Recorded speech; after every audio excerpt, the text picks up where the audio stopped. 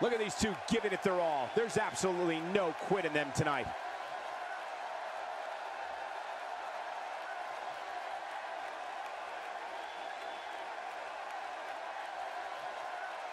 The crowd on hand tonight clearly fired up for this match here on Superstars.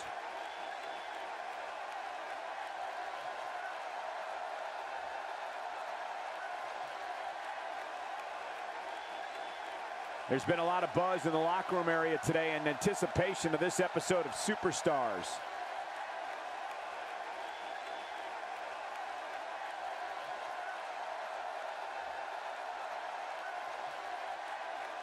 I'm having a hard time figuring out what they're going to do next. Me too. I've given up even trying to figure out what they're going to do next. I'm just sitting back watching and enjoying.